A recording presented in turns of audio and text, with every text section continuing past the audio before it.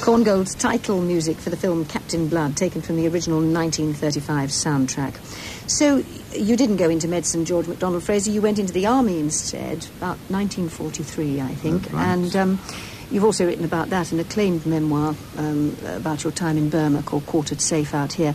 It's, it's funny, it's also horrifying, and it's also gloriously politically incorrect, uh, a fact of which you're very proud, I think. Well, I am politically incorrect in as much as I am a child of my time. And I don't accept the values which have been imposed in the last 20, 30 years.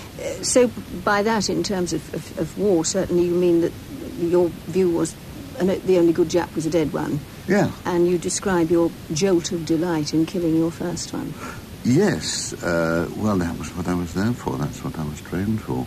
And uh, this is the thing that, that is, is quite difficult, I realize, for the modern generation to understand. They know the Japanese and they work with them and sometimes work for them. Our job was killing them. And it does colour the point of view very much. And it's, it's difficult, I won't say to get that, that out of your head, but it is difficult to make people realize that at that time the world was different and that was necessary. But are you suggesting that people don't go to war today with that same, I suppose, lack of compassion for the enemy? No, to yes, put it well, mildly. Yes, quite. Um, I mean, there had to be a lack of compassion. The war was won by, by ruthlessness, dirty tricks, and so on. And They're you not- approve of all that? that that's At, that's at right. that time. But would you approve of it now? People going to war now with If, that kind of if the country was in danger. Hmm. Yes. But let's go back to you at war, because again, it seems to me, reading what you've written about it, that not only was, you know, the only good Jap a dead one or whatever, uh, that you were entirely emotionless almost when your colleagues got killed. There seems to be no grief expressed. Oh, that was that's that's something which is very different nowadays. You couldn't afford it. I mean, there was no time, as I've said in the book. If the Battle of Britain pilots had reacted in the way in which people react to death and destruction nowadays, we'd have lost the war. You What- can't afford to have anything but a stiff upper lip. You can't afford to waste time on regrets. You've just got to get on with it. And what do you feel people do today then in those situations? Well, nowadays it seems to me that that uh, people don't react quite as as as courageously. I mean, when I hear of firemen who get compensation for doing their job, when I hear of counselling of children when a school chum dies, I remember. You don't approve of that? No, I Why think not? it's extremely bad because it just implants it in their minds. Now, I remember two occasions on which boys in my class died, and the master told us about it, and we were sorry, and that was that. Then we got on with, with life. Now, what do they do? Counsellors are called in to tell the children what? How to grieve? This is not good for them. I think you, you put it very succinctly when you talked about uh, uh, what you approved of and what you enjoyed was the cult of the hero, and this is what you might call the cult of the victim. Yes, it is indeed. And the compensation culture which goes along with it. Well, there are some contradictions there, it seems to me, but um, I want to come on to them. But let's pause for your third record. Tell me about that one. I served in the Border Regiment during the war. I'm a Cumbrian by birth, although a Scot. This is a tune that I love. It's one of the, the best regimental marches I know. John Peel. The Royal Gloucestershire Hussars rendition of John Peel.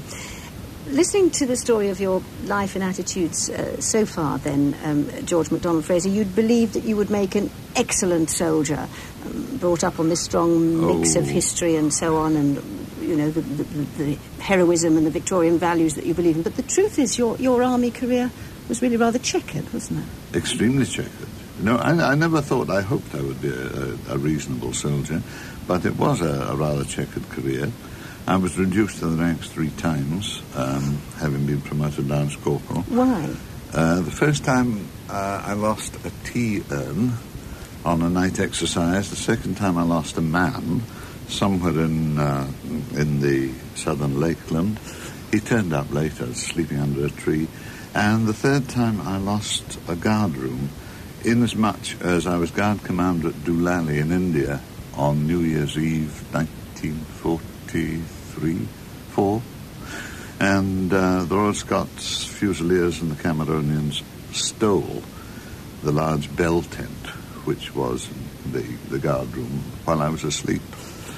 And uh, so you were busted. I was busted again. I got my stripe back in Burma and uh, managed to hold on to it. You were turned down for commission first. I was turned. I'd been turned down for a commission, and then I was approved for a commission after the war.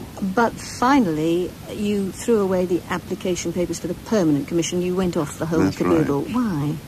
I'm not. A, I, I realised I wasn't a peacetime soldier. I don't mean that I was. I was sort of some bloodlusting gung ho person. I wasn't. But I liked serving during the war. Because you felt you were doing something. uh, it. yes, Yes, there was a purpose to it then. So you went into journalism instead on, on the Carlisle Journal, and from there you went to Canada and came back because it snowed too much. And uh, then you went to the Cumberland News and eventually the Glasgow Herald. What what kind of journalist were you? Can you describe? your Uh, well, I was a sports journalist to start with, covering Carlisle United, God help me. And uh, the great thing about that was that it was being managed by Bill Shankly.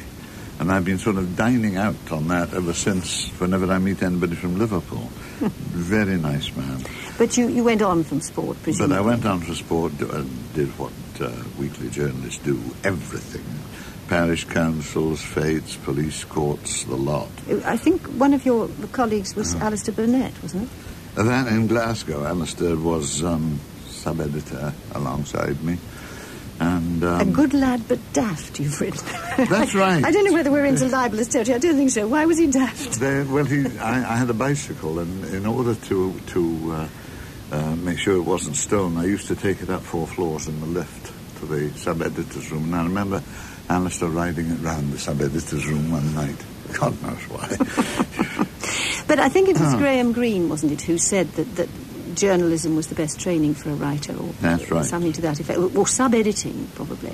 Sub-edit, Yes. sub-editing on a quality newspaper, a- I think. that's is what he said. And and that's really what stood you in good stead ultimately, wasn't it? Oh, I. I don't think you you revise any of your writing. You just sit down and kind of. Uh, I revise it as I go along. I never do a, a second draft, if you know what I mean. you don't reread. No.